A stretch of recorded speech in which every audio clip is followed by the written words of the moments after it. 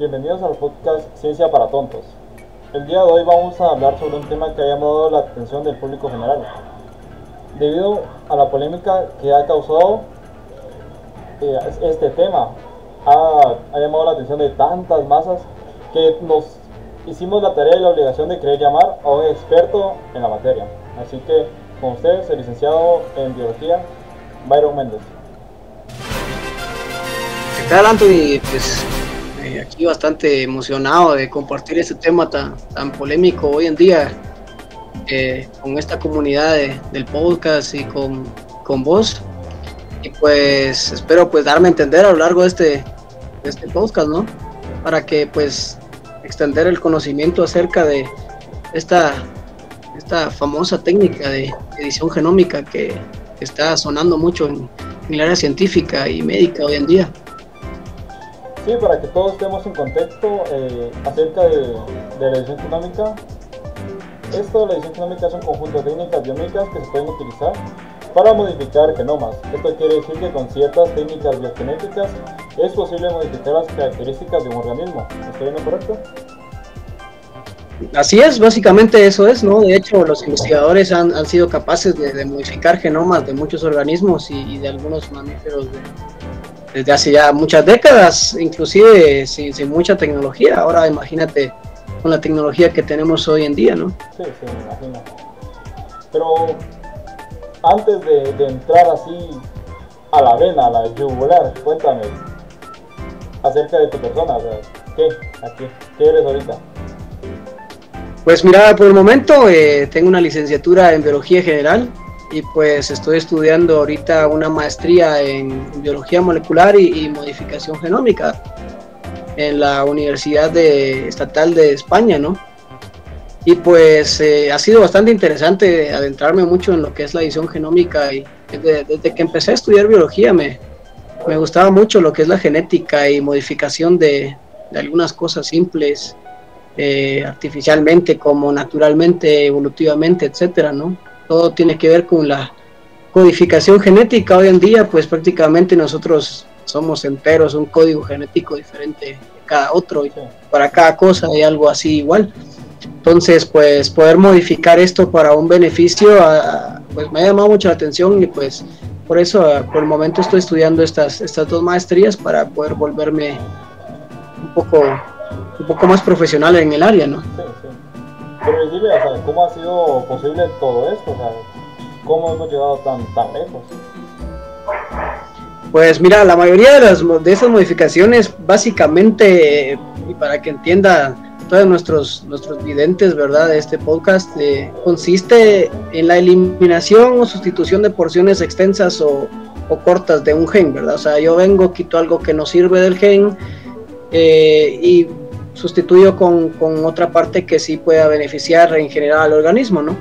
Y los avances científicos recientes pues permiten la introducción y corrección de, de variantes de inclusive un único nucleótido, ¿verdad?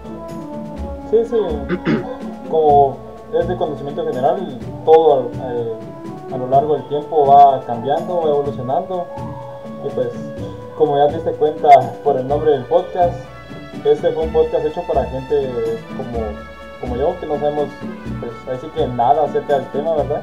Más, sin embargo, nos interesa este, todo lo que es tiene que ver con esto.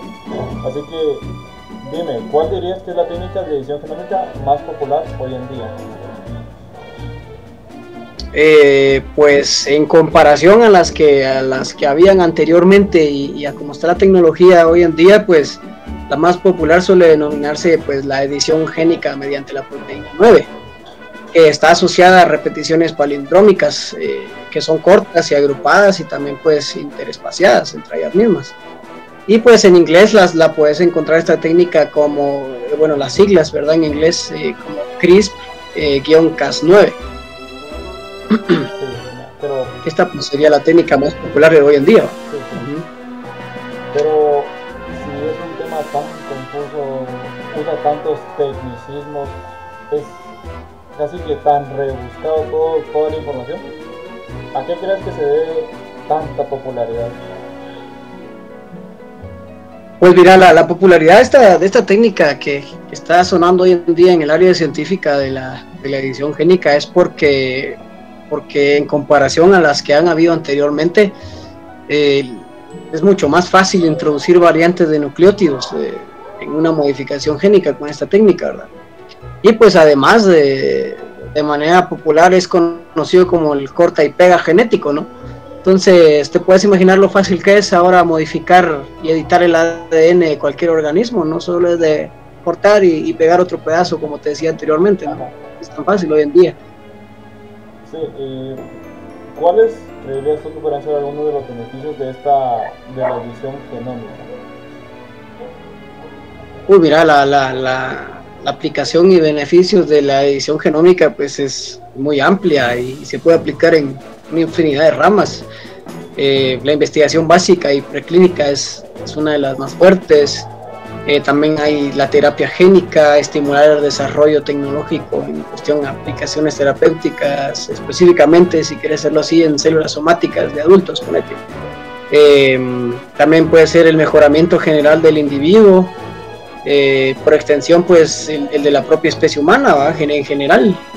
Eh, se podría pues eliminar inclusive genes que causan enfermedades eh, o enfermedades congénitas, ¿no?